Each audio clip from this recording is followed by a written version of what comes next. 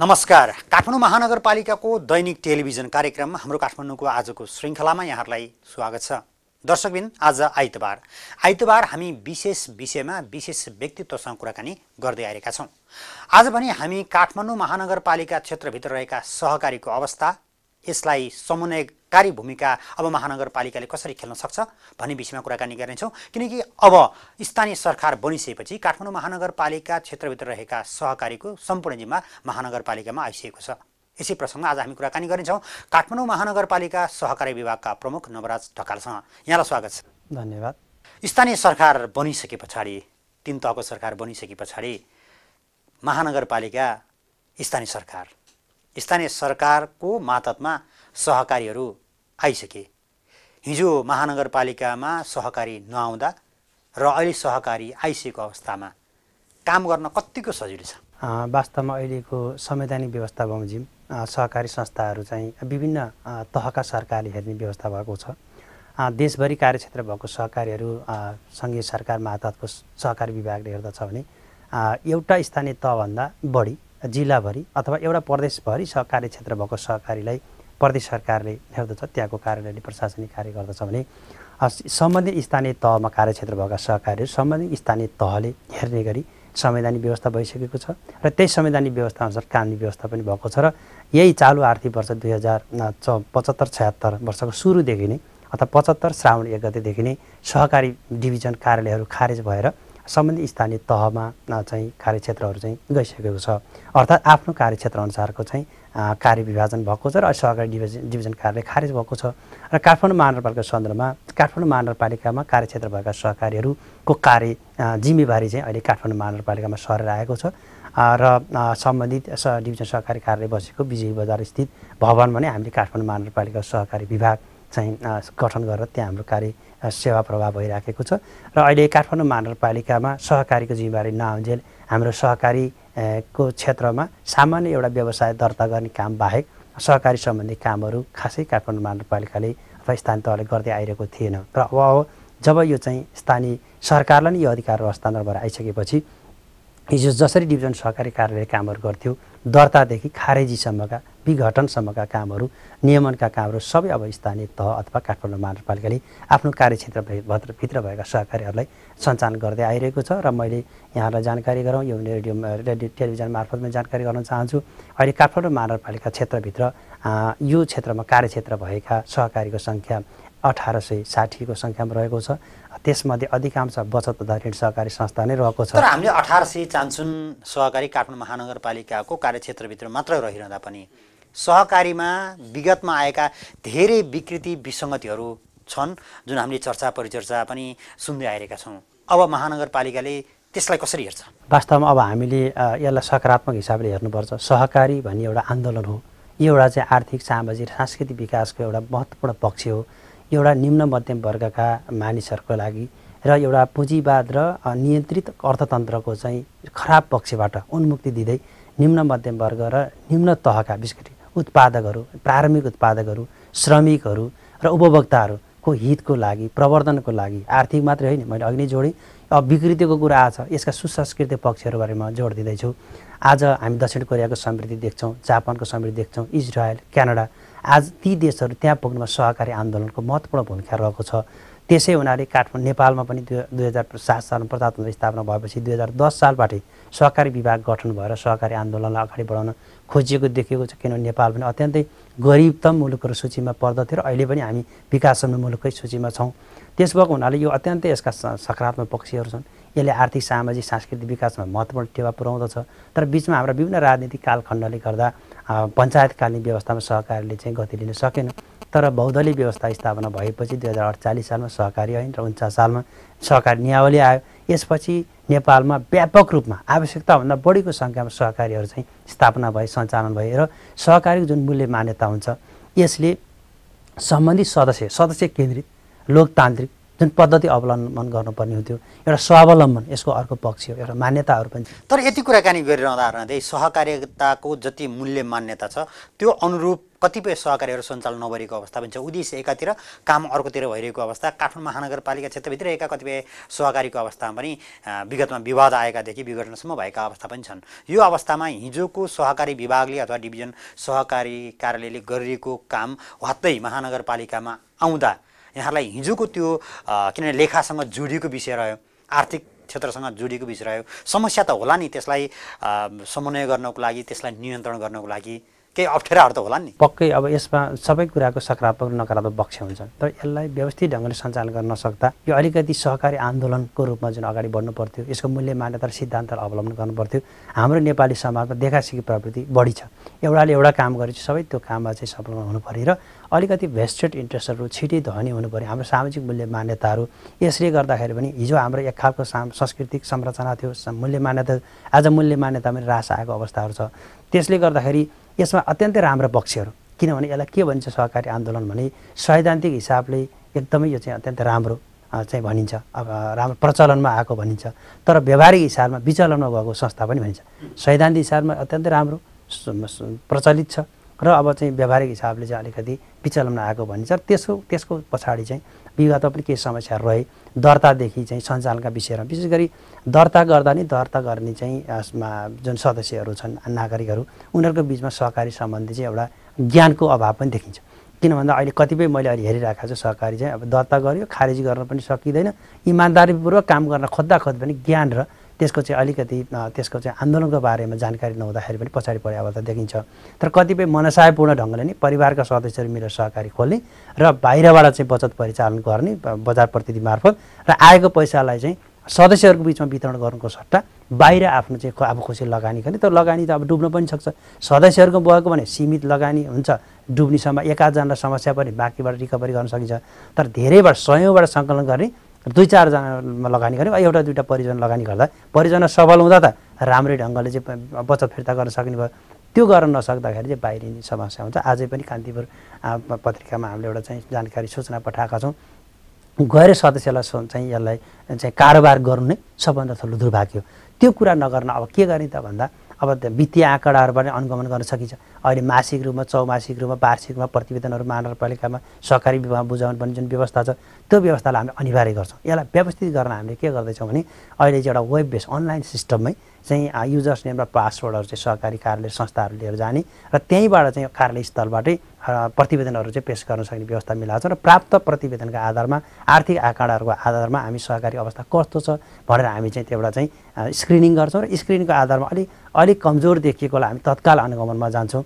र अब अलि मध्यम खालकोलाई पनि हामी एक वर्षभित्रमा डेढ वर्षभित्र जान्छौँ र अब सामान्य चलिरहेकालाई पनि हामी दुई तिन वर्षभित्र चाहिँ एकपटक चाहिँ त्यहाँ पुगेर एउटा सहकारी विभाग र सहकारी संस्थाहरूको बिचमा एउटा सुमधुर सम्बन्ध कसरी स्थापना गर्ने र जसले खराबै मनसायले सहकारीहरू स्थापना र सञ्चालन गर्न खोजिएको छ त्यसलाई हामीले राइट ट्र्याकिङ सही ट्र्याकमा सही मूल्य मान्यतामा ल्याउन हामी प्रयत्न गर्दछौँ। यसको लागि सुरुमा सहकारी संस्थाका अध्यक्षहरू प्रबन्धकहरूलाई एउटा चाहिँ हामी ट्रेनिङको व्यवस्थाहरू गर्छौँ। पछि सञ्चालकको सदस्यहरूलाई र आम सहकारीका सदस्यहरूलाई पनि ट्रेनिङको चाहिँ जुन हामी व्यवस्था गर्दछौँ प्रशिक्षणको सहकारी शिक्षा र सहकारी प्रशिक्षण। यो अत्यन्त पक्ष एउटा महत्त्वपूर्ण पक्ष।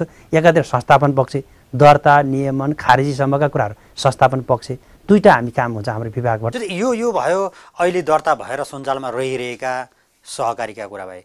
कतिपय व्यक्तिहरू अब सहकारी खोल्छु स्थानीय सरकार आइसक्यो स्थानीय तहमा म सहकारी खोल्छु भन्नेहरू पनि कतिपय दर्ता नभएको अवस्थामा अलमल्ल पर बसिरहनु भएको अवस्था पनि छ। यहाँले प्रश्न पारिदिनुहोस् अब अब काठमाडौँ महानगरपालिका क्षेत्रभित्र सहकारी दर्ता खोल्ने जस जसले सोच बनाउनु भएको छ अथवा स्थानीय तहमा यो सहकारी खोल्ने सोच भएको छ। उहाँहरूले के के गर्नु पऱ्यो अथवा चाहिँ कार्यक्षेत्र कतिसम्म गर्नु पाउने हो? हिजोको जस्तो भद्रगोल छ वा एउटा निश्चित क्षेत्र मात्रै भनेको छ तर विगतमा हेर्ने हो भने केही क्षेत्र जति टार्गेट क्षेत्र भनेको छ त्योभन्दा फरकमा पनि कारोबार सञ्चालन भएको देखिन्छ। अब यहाँले भनिदिनु पऱ्यो महानगरपालिकाको हकमा के छ?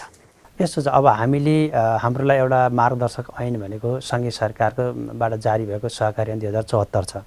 त्यही अन्तर्गत पनि स्थानीय तहहरूले आफ्नो चाहिँ कार्य प्रवाहहरू गर्न सक्छन् अथवा सहकारी सम्बन्धी संस्थापन सम्बन्धी कामहरू गर्छन् प्रवर्धनको कामहरू पनि गर्न सक्छन्। र यसैलाई आधार लिएर काठमाडौँ महानगरपालिका सहकारी ऐन दुई हजार काठमाडौँ महानगरपालिका सहकारी ऐन दुई हजार चौहत्तर जारी गरिसकेको छ र दुई हजार पचहत्तर साल जेठमा यसको चाहिँ स्थानीय राजपत्र पनि प्रकाशित भइसकेको छ र यस व्यवस्था बमोजिम सबै स्थानीय तहको लागि नै सङ्घीय सरकारले जारी गरेको ऐनमा व्यवस्था छ भने तत् विषयमा आफ्ना केही विषयहरू राखेर ऐनहरू जारी गरे पनि संवैधानिक अधिकार अन्तर्गत हामीले गरेका छौँ र काठमाडौँ महानगरपालिका सन्दर्भमा हेर्दा अहिले हाम्रो चाहिँ नयाँ कोही दर्ता गर्न चाहन्छन् भने रोकेको अवस्था छैन। अहिले पनि अब झन्डै अब अठार उन्नाइस अठार सय साठी भने झन्डै उन्नाइस सयको सङ्ख्यामा छ। यति सानो पचास वर्ग किलोमिटर चाहिँ भूगोल भएको चाहिँ स्थानीय तहमा महानगर सरकारमा यति धेरै सहकारी आवश्यक थियो कि थिएन भनी पनि धेरै कोणबाट हेरिन्छ। यसलाई ऐनमा व्यवस्था के छन्? भएका सहकार मर्जिङ गरेर जान सक्ने अवस्था पनि छन्। कार्यक्षेत्र हेरफेर गर्न सकिन्छ। कसैको कार्यक्षेत्र महानगरभरि लिएको छ त एउटै ओडामा सीमित छ भने त्यसले हामीले सम्बन्धित ओडामा पनि राख्न सकिन्छ। कसै जिल्लाभरि कार्यक्षेत्र त सम्बन्धित एउटा स्थानीय तह मात्रै कार्यक्षेत्र छ। हामी स्थानीय तह मात्रै हाम्रो सेवा चाहिँ सङ्कुचन गर्छौँ भनेर साधारण सभाबाट निर्णय गरेर आएदेखि तुरुन्तै त्यसलाई सङ्कुचन विस्तार गरेर चाहिँ हामीले विभिन्न आधारहरू हेर्नुपर्छ। सङ्कुचनको लागि हामीले आधार हेरेर पर्दैन। सो चाहिँ हामीले गर्न सक्ने अवस्था पनि छ र अहिले काठमाडौँ महानगरपालिकामा नयाँ दर्ता गर्ने विषयमा चाहिँ हामी अत्यन्तै जिम्मेवार ढङ्गले र अत्यन्त सचेत ढङ्गले मात्रै हामी चाहिँ अनुमति दिन्छौँ किन अहिले भएकै सहकारहरू व्यवस्थित भइरहेका छैनन् भनेदेखि नयाँ खोल्ने कुराहरूमा चाहिँ हामीले अब ऐनले त रोकेका छैन। तर हामी नयाँ खोल्दाखेरि चाहिँ अहिलेको प्रावधान चाहिँ के छ भन्दा बचत र ऋण सहकारी संस्था खोल्ने हो भने एक सयजना चाहिँ नागरिकहरूले दरखास्त दिएको हुनुपर्छ र एक सयमध्ये अस्सी प्रतिशत सम्बन्धित स्थानीय तहमै स्थायी बासिन्दा भएको हुनुपर्छ। र त्यसमध्ये सयमध्ये पचासजनाले कम्तीमा सहकारी सम्बन्धी पूर्व शिक्षा तालिम। एक दिनको भए पनि अभिमुखीकरण तालिम लिएको प्रमाणपत्रै पेस गर्नुपर्छ। भने हिजो सहकारी आन्दोलनको बारेमा जान्दै नजाइ यो क्षेत्रमा लागेर पनि समस्या भएको त्यो भएको हुनाले अहिले दर्ता प्रक्रियामै हामीले यस्ता खालका न्यूनतम प्रावधान हामी हेर्छौँ। यहाँले भनेकै अनुसारको कुरा जोड्ने हो भने सहकारी आन्दोलन एउटा जुन सोच जुन एउटा उद्देश्य लिएर सुरुवात गरियो त्यसमा केही विकृति पक्कै पनि जहाँ पनि विकृति हुन्छ। यद्यपि अहिले हामीले हेर्ने भने एउटै घरमा छवटा सातवटासम्म सहकारीहरूका बोर्डहरू झुन्डिएका पनि देख्न पाउँछौँ। यसलाई व्यवस्थित गरौँ पर्ला कि नपर्ला डेफिनेट मैले अघि पनि भने ऐनमा पनि त्यो व्यवस्था आइसकेको छ। एकीकरण गर्न सकिने व्यवस्था छ। जो राम्रो ढङ्गले सञ्चालन भएका जस्तो अहिले हाम्रो सघन बस्तीहरूमा सघन जनसङ्ख्याको उपस्थिति पनि छ। व्यापार व्यवसाय छ जस्तो हामी न्युरोड दरबार मार्गमा हेऱ्यौँ भने त्यहाँका स्थायी नागरिकभन्दा त्यहाँका व्यवसाय गर्ने नागरिक चाहिँ तेब्बरभन्दा बढी छन्। त्यो भएको हुनाले अन्त सामान्य बस्तीमा भन्दा सहरी क्षेत्रमा आर्थिक गतिविधि बढी हुने ठाउँमा बढी सहकारी सङ्ख्या हुनु स्वाभाविक अस्वाभाविक होइन। तर अहिले पनि हामीले हेर्दाखेरि आवश्यकताभन्दा बढिरहेको भनेको सबैलाई हामीले महसुस भएको छ र सञ्चालकहरूले त्यो महसुस गरेका छन्। त्यस भएको हुनाले त्यसलाई हामीले व्यवस्थित गर्ने त्यसलाई अलिकति चाहिँ एकीकृत गर्ने एकीकरणमा जाने र सङ्ख्यालाई घटाउने र अब गुणलाई बढाउने। त्यो यहाँ यहाँले भनेकै कुरालाई जोड्ने हो भने र ऐनमै महानगरपालिकाले आफैले नियावली ल्याइसकेको छ ऐन ल्याइसकेको छ त्यसलाई जोड दिने हो भने जहाँ सहकारी दर्ता गरिन्छ त्यो क्षेत्रमा स्थायी बसोबास गर्ने असी प्रतिशत नागरिक हुनु पऱ्यो तर हामीले झट्टै हेर्ने हो भने कतिपय सहकारी खोल्नेहरू अस्थायी बसोबास भएका धेरै छन्। र सम्म पनि जस्तो यहाँले भनेकै अनुसार कुरा गर्ने व्यावसायिक क्षेत्रमा अस्थायी बसोबास गर्ने नै बढी व्यक्तिहरू छन् जुन व्यवसायमुखी सहकारी खोल्नेहरू। त्यसको लागि चाहिँ के छ प्रावधान? अब स्थानीय व्यक्ति नै हुनुपर्ने अथवा चाहिँ अस्थायी बसोबासको प्रमाणपत्र हुनुपर्ने अथवा के छ त्यसको लागि? यसमा के छ भने विगतमा भएका समस्याले नि यो खालको कानुन व्यवस्था भएको विगतमा पनि बाहिरका मान्छेहरू आउने डेरामा बस्ने सहकारी खोल्ने टाठाबाठाहरूले र त्यहाँका स्थायी बासिन्दाको बचत चाहिँ लिने। तर त्यसको परिचालन चाहिँ कहाँ गरेको के छ भनेको पारदर्शी ढङ्गले सञ्चालन नगर्दाखेरि यो खालको व्यवस्था भएको। नत्र एउटा नेपाली नागरिक जो जहाँ गएर पनि ऊ सदस्य बन्न पाउनु पर्ने तर यसको एउटा चाहिँ मूल्य मान्यता के भन्दा सामुदायिक संस्थाको रूपमा लिन्छ कि यसलाई। यो कुनै अर्को मल्टिनेसनल कम्पनी होइन। यो कुनै चाहिँ एनजिओ होइन कुनै अर्को खालको एउटा प्राइभेट कम्पनी होइन एउटा समुदायको भित्र रहेर समुदायका सदस्यको बिचमा बसेर आर्थिक सामाजिक र सांस्कृतिक उनीहरूको चाहिँ हैसियत अभिवृद्धि गरेर एउटा सम्बन्ध पनि सामाजिक सम्बन्ध पारस्परिकता भन्ने अर्को छ त्यसको मान्यता। पारस्परिकता स्वावलम्बन सामुदायिक त्यो खालको चाहिँ भावनाले चाहिँ पोतपोत भएर जानुपर्ने भावना जो सहकारी आन्दोलन के हो भने बुझ्दै नबुझी या त मध्यम र उच्च वर्गका मान्छेहरू यसलाई चाहिँ व्यावसायिक रूपले प्रवर्तन गरेर देखियो। र यसको मूल सिद्धान्त के छ भन्दा यसका कि यो उपभोक्ता हुनुपर्छ यसको सदस्य। कि यसको चाहिँ श्रमिक हुनुपर्छ कि चाहिँ उत्पादक हुनुपर्छ। अहिले हेर्ने हो भने आम मान्छेहरू न उत्पादक छ न उपभोक्ता छ न श्रमिक छ। श्रमिक सहकारीहरू चाहिँ श्रम श्रम दिएको हुनुपर्छ? त्यो पनि छैन। र अब त्यो खालको अलिक फरक मूल्य मान्यताभन्दा पर गरेर स्थापना भएको हुनाले समस्याहरू आएको सङ्ख्यात्मक रूपमा भन्दा हामी गुणात्मकमा जोड दिन्छौँ। दर्ताको कुराहरूमा अब हामीले अत्यन्त अघि नै मैले चर्चा गरेँ। हामीले ती सबै कुराहरू प्रमाण चाहिँ आधारहरू निवेदनहरू प्राप्त भएपछि पनि त्यो ठाउँमा आवश्यक हो कि?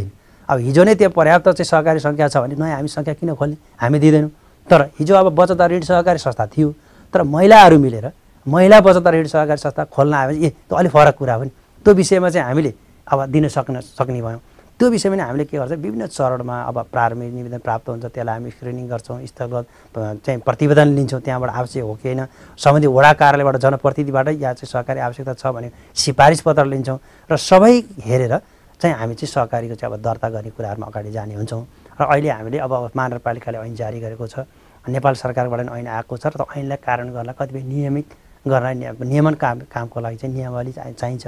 नियावली आइ नसकेको अवस्था छ र अब छिटै नै नेपाल सरकारबाट नियावली आउँदैछ भन्ने कुरो हामी जानकारी प्राप्त गर्छ त्यो नियावली आएपछि प्रदेश सरकारले केही बानु कानुन बनाएर हामी नियावली पनि बनाउँछौँ र नियावली बनाइसकेपछि अब कतिपय ऐनमा चाहिँ तोकियो बमोजिम हुनेछ भन्ने व्यवस्था छ।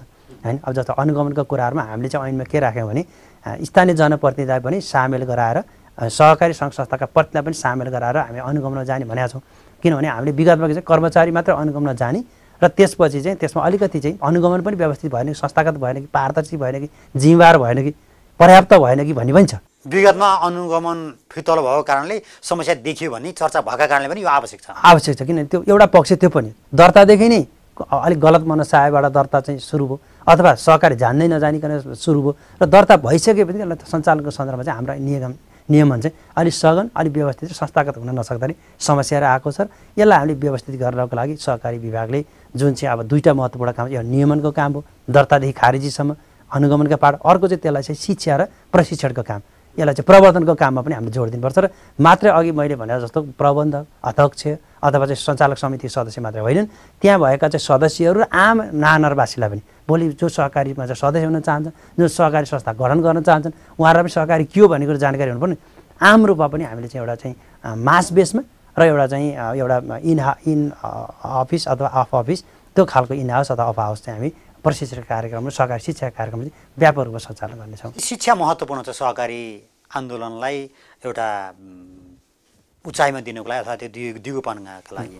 यद्यपि अहिले हेर्ने हो भने सहकारी भन्ने बित्तिकै सङ्कलन गर्ने स्थानीय जनतासँग रकम सङ्कलन गर्ने अनि त्यही पैसालाई ऋणमा पढ्ने गर्ने त्यही मात्रै धेरैले बुझेको अवस्था त्यो छ। त्यो भएर अहिले पछिल्लो समय हेर्ने विषयगत सहकारीको पनि आवाज उठेको छ सञ्चालन भइरहेका छन्। विषयगत सहकारीका सम्बन्धमा चाहिँ महानगरपालिकाले के धारणा बनाएको छ अथवा के सहजता के छ? यसो छ अब सहकारी विभिन्न खालको हुन्छ। अब जसले बचत र ऋणको मात्रै काम गर्छ आर्थिक गतिविधि मात्रै काम गरेलाई बचत ऋण सहकारी भन्छ। यो चाहिँ अघि भने अथवा तिनवटा क्याटेगोरीमा उपभोक्ताको क्याटेगोरीमा पर्छ। र अब अन्य विषयका सहकारी पनि हुन्छन् जस्तो बहुद्देश्य हुन्छ बहुद्देश्य तिनै खालको काम गर्न सक्छन्। अब सीमित मात्रामा बचत पनि उनीहरू सङ्कलन गर्न सक्छन्। र अरू मुख्य उद्देश्य उनीहरूको चाहिँ अब अरू उपभोक्ताको लागि प्रायोरिटी हो कि अथवा उत्पादन क्षेत्रमा ती कामहरू उनीहरूले गर्न सक्छन् दुवै कामहरू पनि गर्न सक्छन्। र अब विषयगत भन्नाले जस्तो श्रमिकहरू मिलेर सहकारी खोल्न सक्छन् जस्तो सम्बन्ध मेटेरियलहरू लिएर आएर अब जुत्ता बनाउन जान्ने शिल्पीहरूले जुत्ता चाहिँ बिसजना पच्चिसजना तिसजना उहाँहरू शिल्पीहरू मिलेर किनभने एउटा व्यवसायीले लगानी गराउने उनीहरूलाई खालि पारिश्रमिक मात्र दिन्छ। तर आफै मिलेर सहकारी खोलेर मेटेरियल लिएर आएर जुत्ता उत्पादन गरेर बिक्री गऱ्यो भने उनीहरू त्यहाँबाट पारिश्रमिक पनि लिन सक्छन् त्यहाँबाट त्यसको मुनाफा पनि लिन सक्छन्। भने यो मालिक हुने विषय हो। सहकारी आन्दोलन भनेको श्रमिक हुने अथवा चाहिँ त्यसको कामदार हुने त्यो विषय होइन। मालिक हुने विषय हो। जस्तो बचत र ऋणकै कुरा गरौँ न आफूले बचतमा ल्याएको पैसाको ब्याज पाइन्छ त्यो पनि राम्रै ब्याज पाइन्छ। लगा ऋण लियो भने पनि सरल ढङ्गले चाहिँ ऋण प्राप्त हुन्छ र बचत र ऋणको कारोबार गरेपछि वर्षान्तमा जुन चाहिँ वार्षिक साधारण सभा हुन्छ नाफा र त्यसको बचत र चाहिँ होइन घाटा त्यसको चाहिँ हिसाब किताब गरेर त्यसबाट चाहिँ बचेको जुन बचतबाट फेरि त्यसमा पनि सहभागी हुन पाइन्छ। सेयर धनीको पनि त्यहाँ हैसियत हुन्छ। त्यसबाट हुनाले सहकारी आन्दोलन भनेको अरू जस्तो ग्राहक होइन। ऊ सदस्य हो मालिक हो। त्यो भएर अहिले चाहिँ ग्राहकमुखी ओरिएन्टेसनबाट चलेको हुनाले समस्या भएको हो। र त्यो कुराहरूमा चाहिँ अब अरू खालका पत्रदार सहकारी सदस्य कृषि सहकारी। उसले कृषि सम्बन्धी उत्पादनका कामहरू गर्छ। अब अरू चिया सहकारी त्यसभित्र पनि अझ क्याटागोराइज पनि सहकारीहरू चाहिँ खोल्न सकिन्छ। तर त्यस्ता खालका सम्बन्धित विषयगत कामहरू गर्ने गरी खोलेका सहकारी विषयका सहकारी उनीहरूले विषयका सहकारी सम्बन्धी काम गर्छन् तर उनीहरूले अरू बचत ऋणका कामहरू चाहिँ गर्दैन र सामान्य रूपमा अब अहिले ऐनमा भएको व्यवस्था चाहिँ रु एकदेखि एक हजारसम्म मासिक सङ्कलन गर्न उनले सक्छन् र आफ्नै सदस्यहरूको बिचमा चाहिँ उनले त्यसलाई वितरण गर्न सकिन्छ। तर सहकारी दर्ताको प्रक्रियामा अहिले पछिल्लो समयको हेर्ने भने यहाँले भनेअनुसार नै कुराकानी गर्ने हो भने पनि उत्पादन अथवा श्रमिकसँग जोडिएर ती श्रमिकहरूले म सहकारी दर्ता गर्छु हामी सहकारी दर्ता गर्छौँ र यसलाई उत्पादन कार्यमा लगाउँछु भन्यो भने त स्थानीय व्यक्ति मात्रै नपाउन सक्छ नि। त्यहाँनिर सहकारी खोल्न चाहने श्रमिक अथवा चाहिँ उत्पादनकर्ताहरूलाई समस्या पर्दैन? अनि श्रमिकहरूको जहाँ आफ्नो बसोबास छ जहाँ आफ्नो चाहिँ कार्यक्षेत्र त्यहीँ खोल्न सकिन्छ। जस्तो काठमाडौँ महानगरपालिकामा भएका श्रमिकलाई हामीले हेर्ने हो भने शिल्पीहरू छन् जस्तो यो चाहिँ सांस्कृतिक सम्पदा संरक्षणको लागि पुराना प्रा पुरातात्विक चिजहरूको चाहिँ निर्माण गरेर बिक्री वितरण गर्ने चाहिँ संस्था व्यक्तिहरू छन्। तिनीहरूको बिचमा जहाँ जुन खालको प्रविधि र सिप छ त्यो सिपलाई चाहिँ हामीले प्रवर्तन गर्ने हो। जस्तो अब हामीले झट्ट हेर्दा सहरी क्षेत्रमा चाहिँ धेरै चाहिँ बाहिरबाट चाहिँ मान्छेहरू चाहिँ आएर बसोबास गर्छन् भनेदेखि त्यो पनि उहाँहरूको अस्थायी बसोबासको रूपमा चाहिँ उहाँले प्रमाणपत्र बनाएर अब लामो अब एक वर्ष डेढ वर्षदेखि बसिराखेको प्रमाणित गरेर वडाबाट आइसकेपछि त उहाँलाई त स्थायी बासिन्दै मान्न पऱ्यो किनभने अब मानिसलाई जहाँसुकै गरेर पेसा रोजगार गर्ने चाहिँ संवैधानिक हक छ। त्यसो भएको हुनाले मुख्य मूल रूपमा चाहिँ यसको चाहिँ मकसद के छ भने अत्यन्तै चाहिँ हिँड्दा हिँड्दै त्यसको कुनै सरकारै नभए र तिमी सदस्य भयो है भने अब अहिले कस्तो देखिन्छ भने अलिकति बचत पैसा छ मसित अलिक बढी ब्याज खान पऱ्यो भने सहकारीमा जाने र अब मसित अलिकति चाहिँ काम व्यवसाय गरेर पऱ्यो पैसा पुगेन अब ऋण चाहियो भने सहकारीमा जाने। खालिको चाहिँ बचतलाई मात्रै जाने ऋणलाई मात्रै जाने अथवा सामाजिक हैसियतलाई। अर्को एक थरी समूह के छ भने म संस्थाको अध्यक्ष सचिव सञ्चालक समिति सदस्य लेखा समितिको म समिति भन्ने हिसाबले सामाजिक हैसियतले सदस्य बनिन्छ। तर सहकारी आन्दोलनको सदस्य हुनु भनेको आफ्नो सम्पूर्ण गतिविधिमा सहकारीसँग जोड्नु त्यसमा चाहिँ फ्युजन गर्नु जस्तो मसित एक रुपियाँ मात्रै कहीँबाट चाहिँ आम्दानी भएको छ भने सहकारीमा लगेर जम्मा गर्नु पऱ्यो मलाई एक रुपियाँ कर्जा चाहियो भने सहकारीबाटै लिनु पऱ्यो भनेपछि त्यो जीवन पद्धतिसँग जोड्नु पर्छ सहकारी। अर्थात् अनि त्यसो गरिरहँदा सामाजिक हैसियत त स्वतै आफ्नो कामको आधारमा त बढ्ने नै हुन्छ। भोलि जिम्मेवारी हिसाबले साथीहरूले कार्य आफ्नो इमान्दारिता क्षमताको हिसाबले त जिम्मेवारी पदमा त लैजान्छन्। सदस्यहरूको भेलाले बनाउने हो। प्रजातान्त्रिक मूल्य मान्यता अन्तर्गत त्यहाँ चाहिँ वार्षिक रूपमा साधारण सभा हुन्छ। त्यहाँबाट प्रतिनिधिहरू छनौट हुन्छन्। सञ्चालक समितिमा अरू समितिहरू उपसमितिहरू त्यसो भएको हुनाले यो आन्दोलनको मकसद चाहिँ सदस्य केन्द्रित र एकदमै चाहिँ उत्पादन उपभोक्ता र श्रमिकलाई छोएर एउटा चाहिँ निम्न मध्यम र एउटा चाहिँ विकासको एउटा चाहिँ पूर्वाधारको रूपमा आधारशिला रहेको चाहिँ वर्गलाई उठाउने एउटा आन्दोलन भएको अर्को एउटा कुरा पनि अलिकति अहम भूमिका यहाँ के देखियो भने हिजो सहकारी जसरी सरल रूपमा दर्ता भएका थिए त्यो अब स्थानीय तहमा आइसके पछाडि अलिकति टाइट भयो अथवा त्यसलाई चाहिँ अलि फराकिलो हिजो जसरी थियो अब चाहिँ त्यो हुन सक्ने अवस्था रहेन भन्यो भने के भन्छ? अब टाइट भन्दा नि व्यवस्थित गर्ने भन्नुपर्छ हामीले किनभने हिजो सङ्ख्याको हिसाबले अलिकति बढाएको देखिन्छ अहिले सहकारी बचत ऋणको लागि भन्दा। अन्य त तिसजना भयो भने पनि पुग्छ। अन्य खालको विशेष सहकारीहरू खोलियो भने चाहिँ तिसजना सदस्यहरू पनि पुग्छ। र अझ श्रमिकहरूको बिचमा जाने पन्ध्रजना व्यक्ति नै भएको भन्ने जुन क्लस छ त्यसले त विभिन्न पेसा व्यवसाय गर्नेहरूलाई अब नेपालको सन्दर्भमा अथवा काठमाडौँको सन्दर्भमा लामो समय बसोबास गरे पनि त्यसलाई अस्थायी परिचयपत्र लिने अवस्था अथवा चाहिँ काठमाडौँ महानगरपालिकालाई बुझाउनु पर्ने बहाल गर्न नबुझाइरहेको अवस्था कतिपय त्यसले पनि त्यो बसोबासको प्रमाण लिन त असहज होला नि। अनि त्यो त अब जे थियो त्यो कुराहरू चाहिँ अब घोषणा गर्नुपर्छ। हिजो जो जसरी जहाँ बसेँ। र अब आज चाहिँ म डेरामा बसेर चाहिँ म घोषणा गर्न सक्दिनँ। अथवा त्यो कर आदिका कुराहरू किन अब अनिवार्य भइसक्यो किन बहाल कर हिजो दुईवटा निकायमा हुँदाखेरि घरधनीहरूलाई पनि समस्या थियो। स्थानीय सरकारलाई केन्द्रीय सरकार अब अहिले त्यो चाहिँ केन्द्रीय स्तरबाट चाहिँ त्यो अधिकार स्थानीयमा आइसक्यो हुनाले अब हरेक कुराहरू पारदर्शी। सरकार पनि पारदर्शी ढङ्गले चल्नु पऱ्यो जनताको बिचमा पनि त पारदर्शिता चाहियो। त्यसो भएको हुनाले अघि मैले भनिरहेको स्थायी भन्ने शब्दको पछाडि ऊ स्थायी रूपमा उसको चाहिँ अब नागरिकताको ठेगाना अन्त हुनसक्छ तर कामको हिसाब मेरो पनि ठेगाना त नुवाकोट छ नागरिकता तर अहिले म काठमाडौँ बसिरहेको छु भन्दा मैले स्थायी भन्दा मैले अब नुवाकोट मएर सदस्य बन्नै सक्दिनँ। म त जाँदै जान्।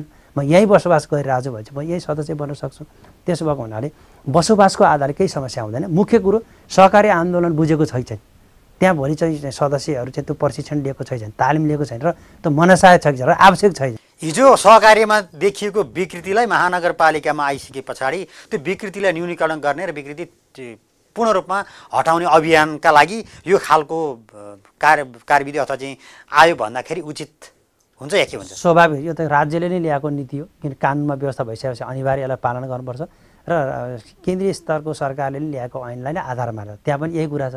बचत ऋण सहकारीलाई सयजना चाहिँ हुनुपर्छ न्यूनतम त्यसपछि हरेक परिवारको सदस्यहरू बढी छ अरू सदस्य बन्न सक्छ तर एक घर एक सदस्य भन्ने छ त सुरु संस्थापन गर्दा अब अरू खालको बचत तथा ऋण सहकारी बाहेक अरू सहकारीको लागि तिसजनाको दरकार सदस्य भए पनि पुग्छ।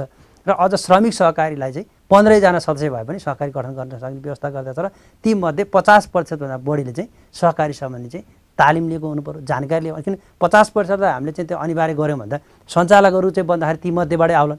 एकाध मात्रै तालिम नलिए आयो भने त सञ्चालकको मेजोरिटी त तालिम लिएका प्रशिक्षण लिएका मान्छेहरू बसेका हुन्छ र ज्ञानको आधारले चाहिँ त्यो इमान्दार हुँदाहुँदै पनि कहिले कहिले जानकारी नहुँदाखेरि ज्ञान नहुँदाखेरि शिक्षा नहुँदाखेरि पछाडि परे अवस्था चाहिँ त्यो कारणलाई चाहिँ रोक्ने भयो अब मनसायपूर्ण खराबी मनसाय भएकोलाई त फेरि अरू इन्डिकेटरबाट बाँध्नु पर्ने हुन्छ।